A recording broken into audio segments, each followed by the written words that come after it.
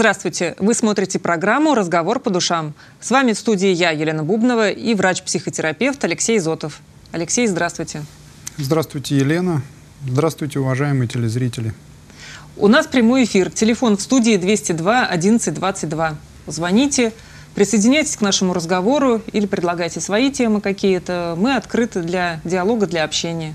Звоните. Да, мы традиционно, ну, по крайней мере, Елена традиционный сейчас такой текст с э, нашей стороны произносит. Мы действительно каждый раз э, практически э, с нуля начинаем, с э, такой какой-то неизвестной территории, с наметок каких-то. Ну, в общем, э, как и прежде, ждем звонков, э, потому что, поскольку передача посвящена вопросам психологии психотерапии, она невозможна без живого участия тех людей, которые, вас, тех людей, которые за помощью обращаются. Но нет большого смысла, на мой взгляд, по крайней мере, э, обсуждать что-то в вакууме, в относительном вакууме э, студии и самой передачи. И, да, угу. да, да. Я хотел сказать, что э, обратиться к тем людям уже не первый раз, я это вспоминаю после окончания передачи, ну, где-то, может быть, за несколько секунд буквально звонки в студию приходят, мы не успеваем в эфире на них отвечать, мы, э, я сам созваниваюсь, мы обсуждаем какие-то вопросы и прошу позвонить э, в следующий раз в эфир, да, потому что вопросы обычно очень интересные и в какой-то степени проявляющие проблематику э, не только одного человека внутри семьи, скажем так, или одного человека во взаимодействии с кем-то, но я думаю, что и другие люди могут из этих историй что-то почерпнуть. Поэтому те, кто звонили, звоните и не дозвонились, или позвонили поздно, звоните, пожалуйста, сейчас, и мы что-то попробуем обсудить. Пока мы ждем э, звонков, Алексей, можем ли мы раскрыть эту тематику, с которой обращаются к вам люди, не успевшие да, в эфире задать свой вопрос? Или, может быть, у вас э, за эту неделю прошедшую что-то интересное было в вашей практике, о чем угу. стоило бы начать наш разговор? Ну, то, что касается звонков, э, из того, что я помню, последнее, ну, я надеюсь... У нас звонок, Алексей. А, угу. Здравствуйте, вы в эфире. А, здравствуйте. Здравствуйте. Меня зовут Елена. Угу. Здравствуйте, Елена. А, всякий раз, когда я звонила не первый раз, а, каждый раз звонок это очень волнительное событие.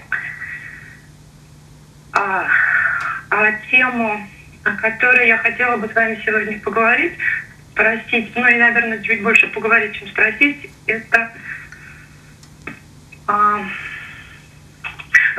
Просто у меня случилось совпадение сразу нескольких историй. Э, есть а, мое личное достаточно серьезное а, расстройство. Ну, я имею в виду, что я себя плохо чувствую эмоционально, физически. И в этот момент начинается история, что моя любимая дочка, с которой до этого мы достаточно неплохо ладили, а она находится тоже в достаточно серьезном а, э, плохом состоянии, она решает, что причина ее проблем это воспитание ее в детстве мною, и это высказывает.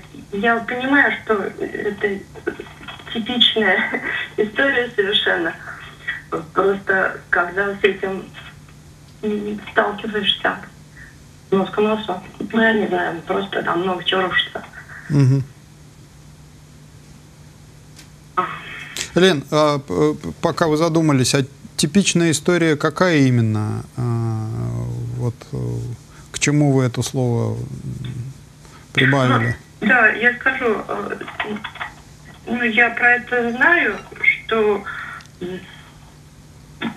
подросткам, юношам свойственно нормальный этап, когда э, ребенок, отсоединяясь от родителей, находит какие-либо причины обвинить в чем-либо и таким образом уйти в свою жизнь. Это ожидаемый этап, поэтому он типичный. Ага. А, собственно говоря, вот э, то, как это происходит в, в- в реальном времени, меня это просто очень сильно а, вышибло. Мгм. А что именно, если можно как-то приоткрыть?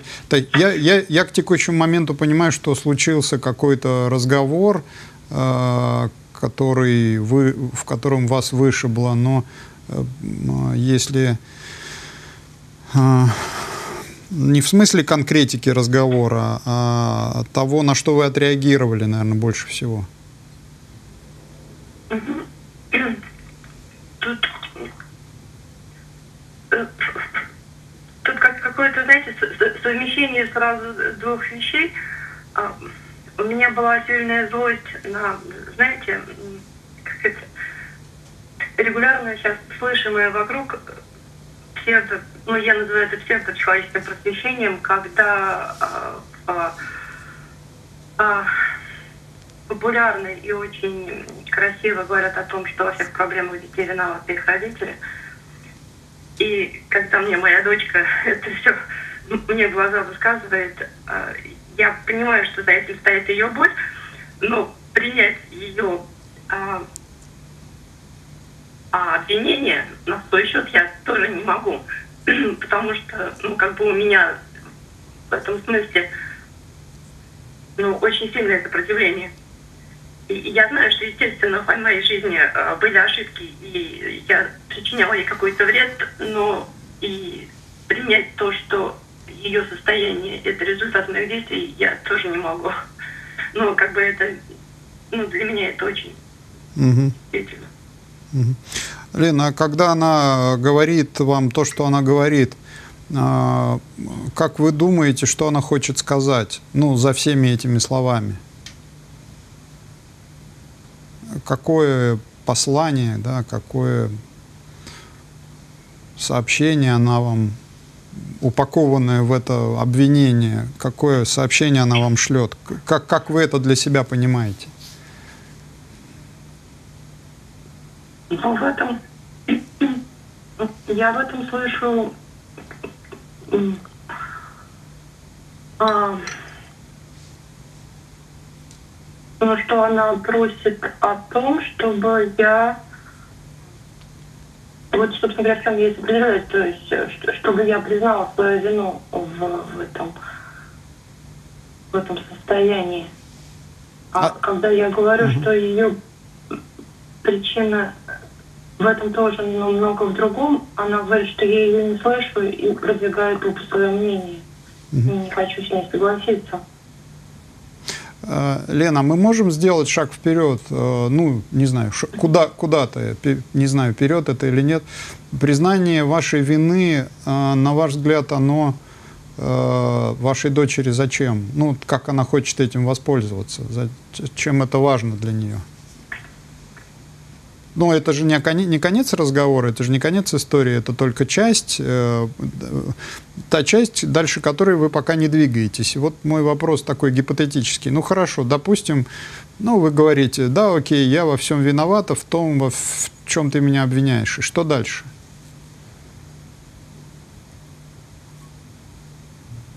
Ну, как бы для меня эта история, как сейчас я ее понимаю и слышу, что если я виновата, то мне дальше все исправлять. А я понимаю, что это ее жизнь, и это ей исправлять. И, и, и вот тут что-то такое. Хорошо, а как вы можете это исправить? Как это понимает ваша дочь или как вы понимаете, ну, как это вы понимаете или вы вместе? Как, как это исправлять? Вы пойдете в школу, если она учится, или вы пойдете к сверстникам, к ее? Как, как это возможно? Собственно говоря, вот сейчас никак. Как-то вот... Нет. Ни в школу, ни к сверстникам. Как, как вы можете это исправить? Ну, как, как об этом думает дочь, если вы это знаете, или если вы об этом не знаете, как вы понимаете, что об этом думает дочь? Как, как, как, вы можете? Ну да, окей, я виновата. Ну хорошо, я так, я виновата. А Дочь говорит, ну теперь тебе все исправлять. Ну окей, я готова исправить. Что мне нужно сделать? То есть как, как это должно быть дальше? Ну, впол- вполне возможно, что вот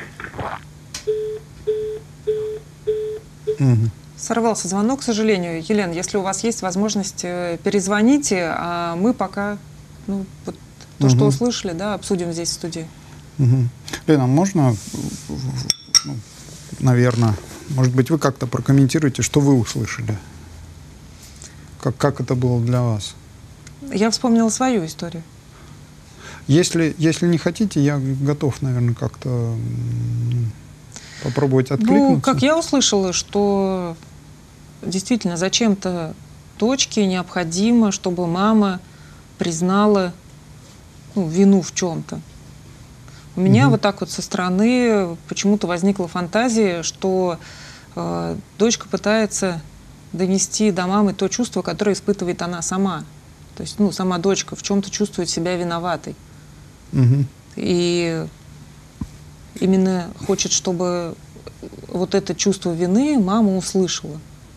Но пока она разворачивает это в одностороннем порядке, я имею в виду, дочь разворачивает по отношению к матери, то есть вот ты виновата и признай, как бы, э, не знаю, приходила ли, ли мысль дочки о чувстве собственной вины, да, и, и за что Мгм. она чувствует себя виноватой. Может быть, за это состояние эмоциональное, может быть, я не знаю, как подросток она себя чувствует неуспешной в чем-то. Подробности не знаю, могу только вот фантазировать с позиции э, дочки.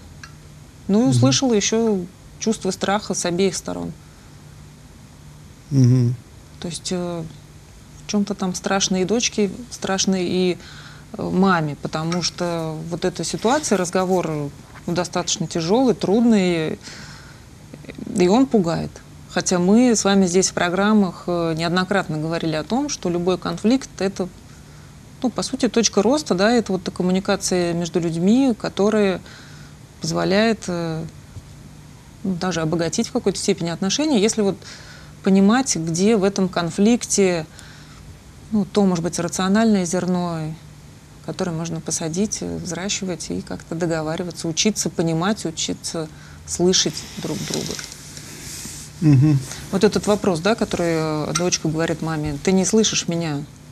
Тоже мы как-то в одной из программ говорили об этом. Ну да, ну да. А, При, при этом, а, да. Могу рассказать свою историю, да, потому что э, Мгм. в свое время мой сын, когда тоже попытался вот именно в таком же ключе мне сказать, я почувствовала, куда это несет, я сказала, давай договоримся, вот я тебя родила, все, что не будет происходить э, в твоей жизни, потенциально ты можешь обвинить в этом меня. И Мгм. мы э, потом уже говорили о другом, почему вот эта тема возникла, и попытались как раз вот выяснить, что он же хотел донести до меня вот этими попытками обвинить в чем-то. Мгм. Спасибо, э, Лен, за м, ваше ну, вот это добавление. Э, И, возможно, мне это сейчас дало время еще поразмышлять э, над тем, что вы говорите, над тем, что, Лен, вы говорили. Я надеюсь, что вы нас слушаете, э, даже если от- отрубился звонок. Я э, сейчас думаю о том, что Елена, э, которая нам сейчас позвонила, она говорила, ну, во-первых, это, мне кажется, очевидно было, что она говорила об очень сложной ситуации, об очень сложной коммуникации. Очень сложность э, в данном случае, на мой взгляд, связана э, тем, что это общение нагружено эмоционально, пиковыми какими-то эмоциями. Не зря Елена сказала, мне плохо, дочери плохо. То есть там, во-первых, очень много эмоций. И вот в этом плане, да, если можно, я Мгм. буду немножко какие-то вот Мгм. свои комментарии вставлять. Они как будто бы обе находятся в одинаковой ситуации. В каком смысле? Но им кажется, что они в разных лодках плывут, но из своего вот этого эмоционального состояния им обеим плохо.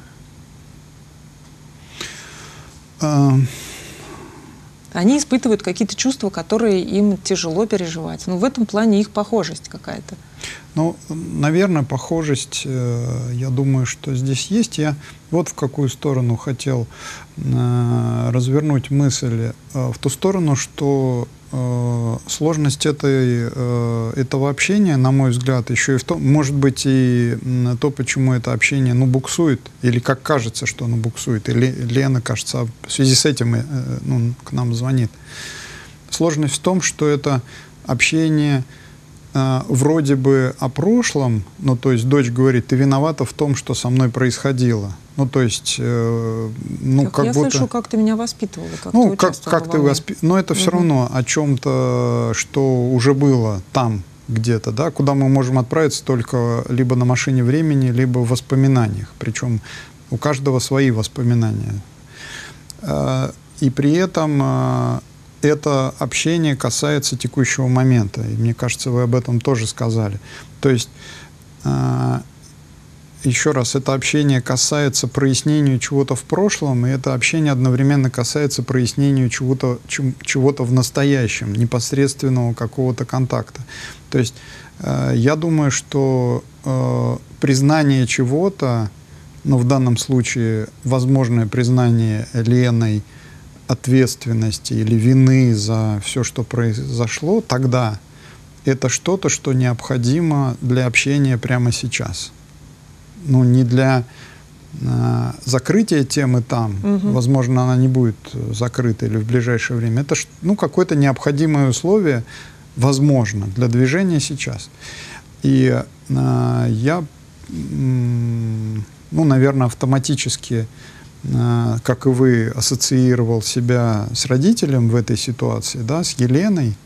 э, Ну, я обща- еще как и с дочкой тоже, Да. с позиции дочки. да, и я подумал, эм, насколько, э, ну, поскольку Ле- Лена сказала пообсуждать этот вопрос, я подумал, насколько в этой ситуации мама, а, например, я в своей ситуации, наши зрители, может быть, в своих каких-то ситуациях, насколько я могу о, вынести, э, вынести в смысле вытерпеть, э, дать возможность развернуться э, вот этому недовольству и гневу дочери, обвинению. Ну, грубо говоря, чтобы оно заняло все пространство наших отношений. То есть не, э, возможно, это очень болезненно, нужно ее периодически модерировать, говорить, это не так, это не так, это не так. И это поведение э, понятное, но оно может быть связано с тем, что я, как э, родитель, может быть, не выношу такого объема обвинений. То есть этих обвинений слишком много для меня. Вопрос не в том, может быть, состоятельные они или несостоятельные, имеют право на существование или не имеют. Обвинений слишком много для меня, я не могу их вынести, да, и мне нужно что-то сделать. Единственное, что я могу сделать с обвинениями, это ну, парировать их каким-то образом, говорить, что, может быть, это не так, попытаться их разделить, эти обвинения. И вот, может быть, сложность э, э, этой ситуации, э, Елена, вашей в том, что по- пока по каким-то причинам, может быть, в силу того, что вам сложно сейчас самой эмоционально, то есть, может быть, в каком-то другом состоянии, это так гипотетически, можно было бы это более спокойно выслушать, да, но Елена, видимо, нагружена своими какими-то эмоциями. Вот, и вот, э, вот это, э, вот этот объем э, чувств э, дочери, он э, ну, пока, видимо, никак не развернут. Наверное, его очень много, да, и в этом смысле они стоят на месте. Ну, как я слышу, там тоже кризис в отношениях, да, ну вот конкретно сейчас, э, неважно, связан ли он там с подростковым э, возрастом, или наоборот, может быть, э, важно, что он связан именно с этим возрастом.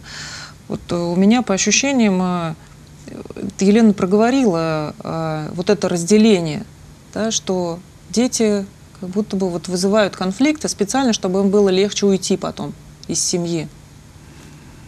Ну, в чем-то таком Да, она сказала. Елена сказала об этом. Да, и вот в связи э, с этим каким-то, э, с этими образами разъединения или вот слияния, как будто бы вот для самой Елены она головой уже понимает, что, возможно, ее дочь, мы не знаем, сколько ей лет, да, ей вот надо разделиться, и она отдельная личность. Но когда дочь э, бросает ей вот эти обвинения, признает свою вину, там вот это слияние, к которому от которого они обе стараются отойти, оно вот снова как будто бы происходит, или они, оно их вот втягивает, вот этот конфликт в это слияние. То есть они не могут уже как две отдельные личности, которые, у которых есть у каждой, конечно, свой жизненный опыт, э, сесть э, ну, и поговорить. Да?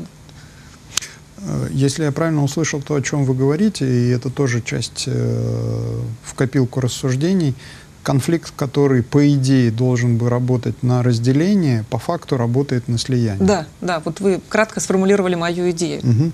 И это тоже, возможно, э, вносит путаницу. Ну, Причем как будто бы поведенчески угу. это вот разделение, а эмоционально это опять слияние. Э, да. Меня еще э, очень откликнулось, и я сейчас обсуждаю, э, обсуждаю внутри самого себя с самим Интересно, собой. с кем вы это обсуждаете? С самим собой, да. Вот эту идею, которую Елена озвучила, о том, что, ну, как-то сказала, что это сейчас очень популярная идея о том, что родители виноваты ну, в проблемах детей. Мне кажется, что сама по себе... Я соглашусь, и я встречаю эти э, книги, тексты какие-то, да, но мне интересно в этой идее другое. А, мне интересно то, что ведь это, если это так, а в какой-то степени это так, это мы, родители, э, такую идею э, транслируем детям. Да, это же не они придумали, они прочитали в текстах, которые, ну, очевидно, написали взрослые люди. И у меня возникает, э, возник вопрос, а зачем мы им эту мысль э, предлагаем? Говорю мы, потому что э, ну, это касается нас, взрослых, это касается нас, родителей, видимо, э, если, мы, мы, если бы мы были с этим не согласны, было бы много текстов, которые опровергали бы эту идею, да, но угу. таких текстов нету. Поэтому дети очень э, хорошо подхватили нашу идею. И я думаю, зачем нам эта идея? Вот. У меня, возможно, есть ответ на ваш вопрос, Алексей.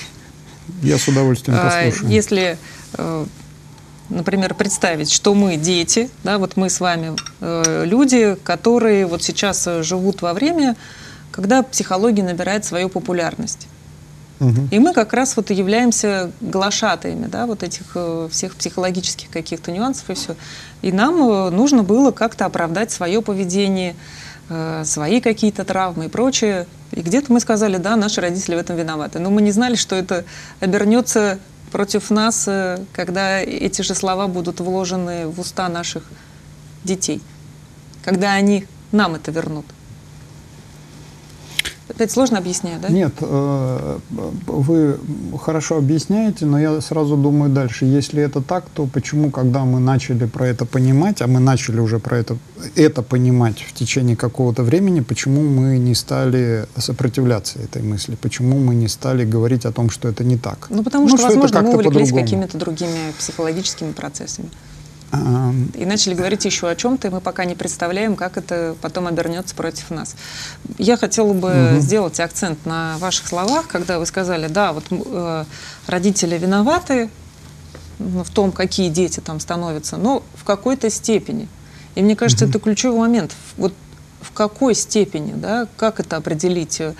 Конкретно в каждой ситуации. Ну, потому что ребенок, э, да, он растет с родителями, но он же не в изоляции от окружающего мира, он не в изоляции от общения с другими значимыми фигурами, как мы их называем, э, воспитатели в детском саду, учителя, э, даже соседка какая-нибудь, да, которая очень активно любит высказывать свое мнение и ребенку какие-то комментарии. Вот какая это степень влияния или, ну, не знаю, вины родителей? А. Стоит ли это прояснять? Вот Елене со своей дочерью, да, как-то вот... Э... э возможно, они в этом заковырялись, э, закопались. Я вот что в ответ на то, что вы сейчас говорите, вот что, вот о чем подумал. Обвинение ведь это проявление, э, это способ сказать о том, что я сердит на тебя. Причем э, ты виноват во всем. Ну, это говорится, я думаю, большинство людей представляют, с какими э, интонациями э, произносится обвинение. Ну, во всем это тоже такая абсолютизация. Что Не значит во всем? Неважно. Я сейчас немножко в другую сторону. Да, можно прояснять, а в чем именно? Ну, я подозреваю, что, может быть, э, действительно в этом можно заковыряться. Ну, хорошо, ты мне не купила куклу, а вот там то-то, то-то. Все-таки я думаю, что для того, чтобы обвинение разбирать, нужен э, разговор э, более холодный, не такой горячий. Потому что э, когда люди друг друга обвиняют, они сидят у костра, и каждый в этот костер что-то подбрасывает. И этот костер, ну, их иногда согревает многие дни. Ну, к сожалению, это так, да, вот они тратятся. Ну да, потому что в конфликте они себя чувствуют более живыми.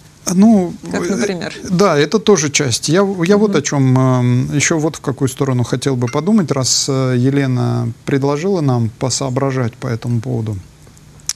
Все-таки обвинение это эм, э, Злость. это злость, Э, это э, злость и это попытка э, ребенка сказать отдельного ребенка сказать отдельному родителю о том, как он сердит на э, него, ну, за какие-то, как, как, как его жизнь сложилась не так из-за того, что родитель что-то. Я вот к чему веду. А, Я все свою вот эту, этот вопрос держу в голове. Может быть, это обвинение, а, оно как-то сопутствует с культом э, родительским, с культом материнства.